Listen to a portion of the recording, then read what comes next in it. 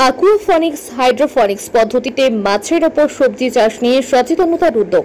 সম্প্রতি এই পদ্ধতিতে মাছ এবং সবজি চাষ করে অনেকেই বড় সাফল্য পেয়েছে গুজরাট সহ অন্যান্য রাজ্যে। এবার সেই পদ্ধতিতে জলপাইগুড়ি জেলার মানুষের মধ্যে প্রযুক্তিগত সাহায্য সহ উপকরণ দিয়ে সচেতনতা বৃদ্ধির উদ্যোগ নিল।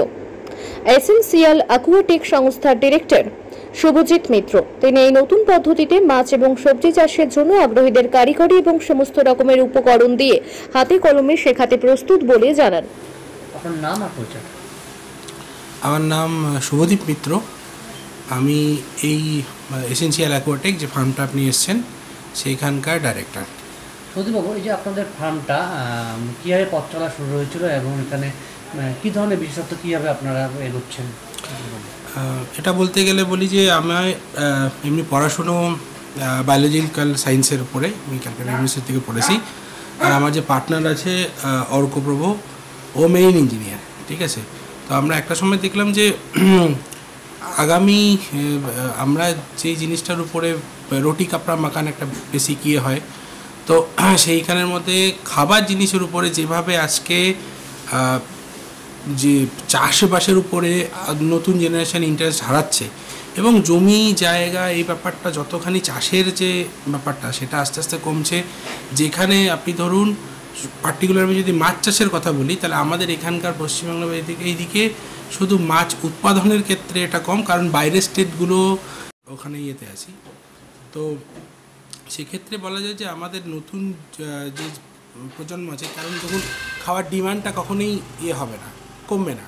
ঠিক আছে, এটা বাড়বেই। তো সেই মতো যদি সাপ্লাই না হয় অলরেডি আমাদের এখানে প্রচুর স্কেয়ারসিটি আছে মাছ চাষিতে তো সেইখানে আমরা যদি একটা প্রোডাকশান বা একটা নতুন যদি ইয়ে ইন্টারেস্ট আনাতে পারি আপনাদের, নতুন জেনারেশনের প্রতি, তো সেই জন্য ট্র্যাডিশনাল মাছ চাষ ছাড়াও আগামী যে নতুন টেকনোলজি ইনফিউজ যে টেকনোলজিগুলো আসছে, যেমন আপনি যদি অ্যাকোপনিক্স বলেন হাইড্রোপনিক্স বলেন আরএএস সিস্টেম বলেন রিসার্কুলেট তো সীমিত জায়গার উপরে এবং কন্ট্রোল এনভায়রনমেন্টে এবং সবচেয়ে বড় কথা হচ্ছে মডার্নাইজ পদ্ধতিতে যেভাবে মাছ চাষ এখন করা সম্ভব, গোটা বিশ্ব অনেকটাই দিকটি করে এগিয়ে যাচ্ছে, তো আমাদের এদিকটা এই জিনিসটাকে আনাটা যাতে মানে ইয়ং জেনারেশনে যেন এরকম না হয় যে ওই আপনার চাষ করতে গেলে কাদা মাটি এসব মেখে এই ব্যাপারটা না করে বরঞ্চ স্যুট প্যান্ট পরেও যাতে মাছ চাষ করা যায়। তো সেই জিনিসগুলো আপনারা ছবিতে যেটা দেখেছেন।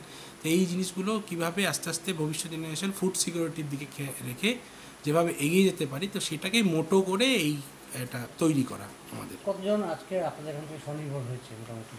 আমাদের এখান থেকে দেখুন যদি বলেন আমাদের এখানে বিভিন্ন সেক্টরে যে কাজকর্মগুলো হয় বিভিন্ন সেক্টর বলতে আপনার হচ্ছে দেখুন পুকুরে মাছ চাষ ট্র্যাডিশনাল ওয়েতে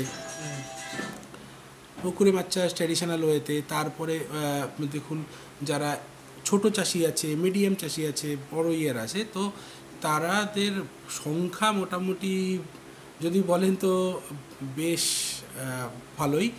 যারা আমাদের এখান থেকে যারা লোকাল হোক এবং আউটসাইড আমরা শুধু জলপাইগুড়ি বা ওয়েস্ট বেঙ্গল না, অন্যান্য পশ্চিমবঙ্গের অন্যান্য জেলায় বলুন, সিকিমে বলুন, তারপরে হচ্ছে আপনার বিহারে তারপরে হচ্ছে আপনার আসাম, ত্রিপুরা, তো এই সমস্ত জায়গাতেও আমাদের এখানে প্রচুর লোকেরা আমাদের সাথে জুড়েছে যারা অ্যাকচুয়ালি যে নতুন যে টেকনোলজিটা কীভাবে আমরা ইন্ডিয়ান্স কারণ দেখুন এই নতুন আপকামিং যে টেকনোলজিগুলো আছে অ্যাকোয়াকালচারে সেগুলো বেশিরভাগই খুব হাইফাই দেশে, যেমন ইসরায়েলের থেকে বা আপনার নেদারল্যান্ডসে থেকে, ওরা অনেকটা এগিয়ে গেছে, অনেকটা কস্টলিয়েস্ট ব্যাপার।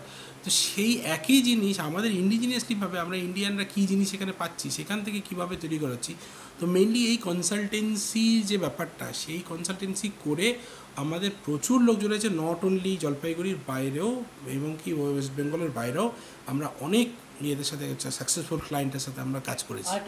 এবং চাচ্ছেন আগামী দিনে আমরা যেটা চাই সেটা হচ্ছে যে এই যে নতুন পদ্ধতি বা যেই, বা বিজ্ঞানসম্মত পদ্ধতিতে মাছ চাষ করলে যেটা ব্যবসায়িকভাবে অনেক বেশি সাফল্য লাভ করতে পারে, ঠিক আছে? তো সেই জিনিসটার সঠিক পদ্ধতি এবং গাইডেন্স যে কি আমাদের এখানকার পরিবেশ, জলবায়ুর সাথে কীভাবে সবচেয়ে ভালো আমরা মাছ চাষ করতে পারি, তার জন্য কি কি দরকার?